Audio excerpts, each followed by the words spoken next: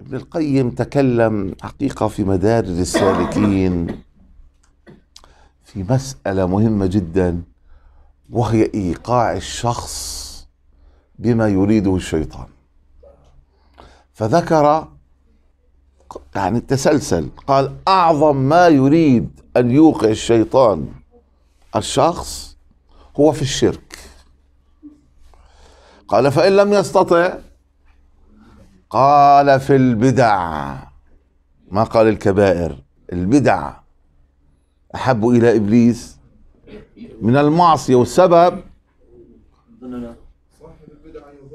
على خير ولكن صاحب المعصية يعلم أنه على نعم صاحب المعصية يقر بالذنب فيتوب في احتمال يتوب.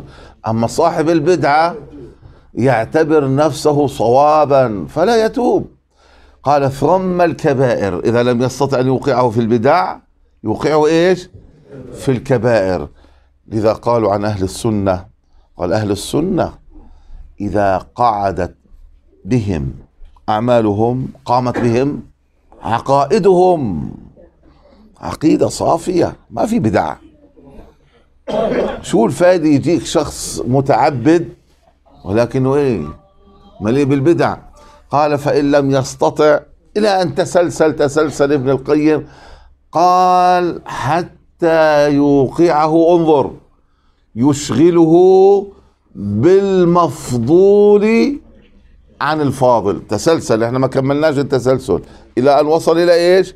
يشغله بالمفضول عن الفاضل. يعني يشغل أوقاته بطاعة لكنه اشغله عن إيش؟ عن الأهم. عن الأهم.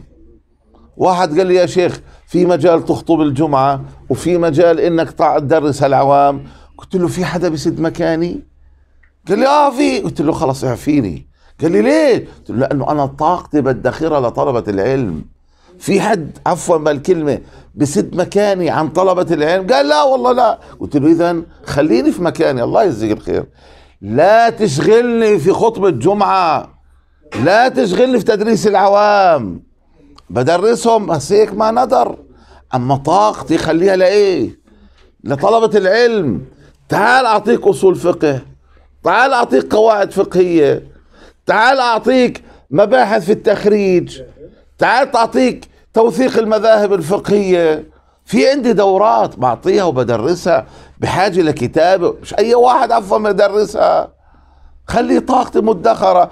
إلي مؤلفات بدي أحاول أنجزها وأراجعها. فما تشغلني. آه في ناس بفهم وفي ناس ما بفهم. قال والله حابين يا شيخ نسمع خطبك. يا حبيبي ما ما تحبش الله يرضى عليك. في غيري بخطب والناس بتصير تبكي من وراه. ها مش شغلي هذا نعم بخطب نعم بخطب على القطعات. ناس انقطعت. فبطلع أخطب مكانه. فأنت نبهوا تنبهوا. وفي واحد في مجال تدرس لنا الأولاد الصغار؟ طب كمان أدرس الأولاد الصغار. طب ما تعال درس أولادي الله يجزيك الخير أنت يعني. بدك تشغلني تشغلني بالمفضول.